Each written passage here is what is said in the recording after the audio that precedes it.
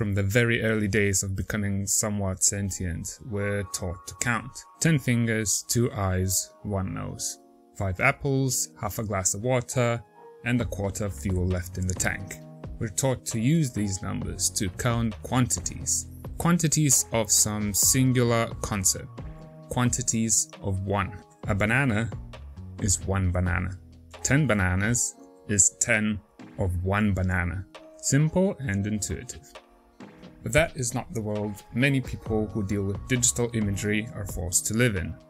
Whether you're a graphics designer or a 3D generalist or a photographer, you're absolutely aware of the hex color codes. Welcome to part 3 of the Nightmare series. While I went and got a degree in engineering, I was always interested in product design. The task in product design was often to make products that made perfect sense to people. Products that are easy to figure out without needing an instruction. Products that are human oriented, intuitive, ergonomic. In engineering, we were mostly dealing with decimal number system, otherwise known as base 10. 1 banana, 10 bananas, 100 bananas. Easy to understand at a glance, easy to imagine, simply intuitive.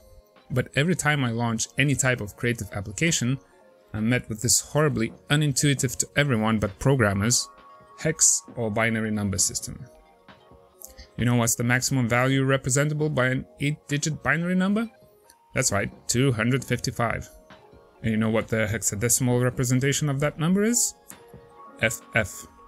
Both of these you've already seen in your favorite digital editor, but probably never asked yourself why are you forced into using them.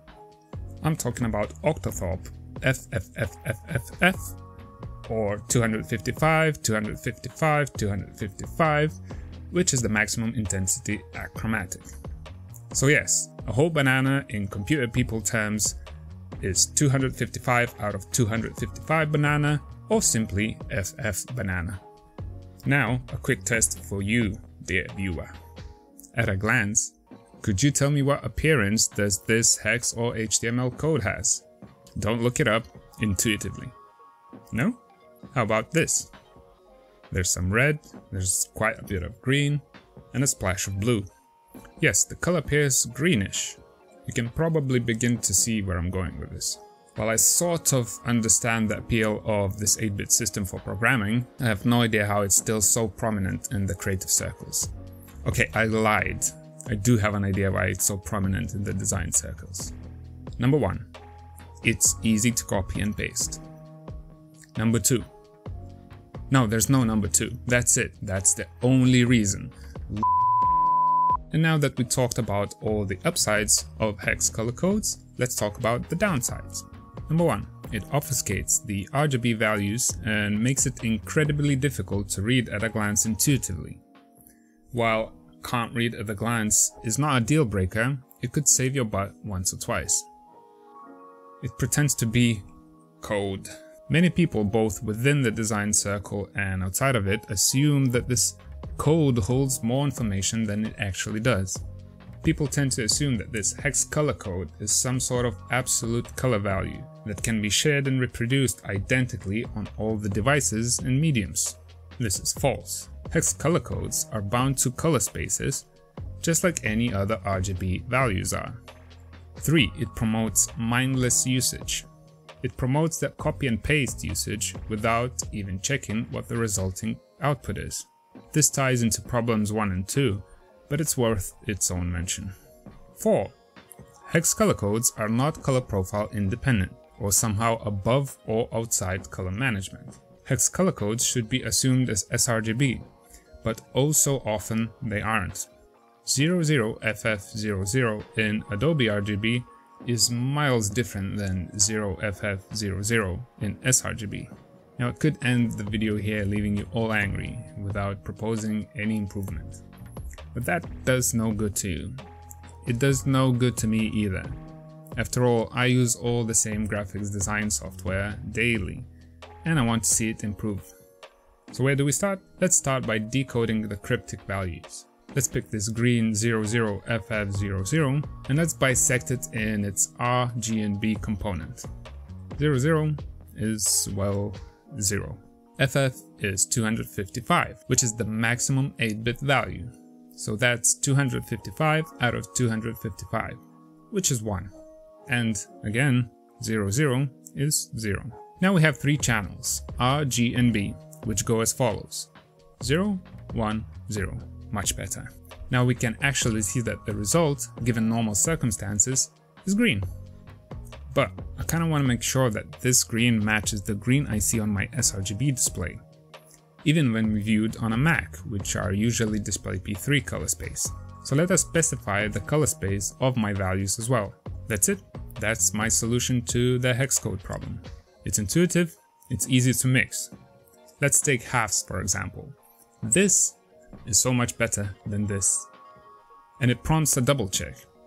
Am I really in sRGB? Is my deliverable in sRGB? What the hell is sRGB? Funny enough, after I started complaining about the hex codes and started discussing ways how to fix them, someone has pointed me to an experimental CSS feature. By the time I finally managed to stop making this video, the experimental feature has already been implemented. Now CSS allows you to specify the color space and the values you are feeding it. Here's an example. This is a maximum output of all three channels on a display P3 display. This is so incredibly close to what I had in mind. Also, notice how this new CSS feature pivoted away from the unintuitive 255 out of 255 format as well. Now we're making progress. With Studio, how are you going to copy and paste this value into Photoshops, you might ask? Remember, software follows users. Uh, given the vendor cares about something more than just attracting new paying users by using trendy hashtag-like features. What I envision is having a similar input box just like we have now for the hex code. Select, copy, paste. Now at this point the software should be able to recognize what you're inputting and it could even output suggestions and tips based on your input.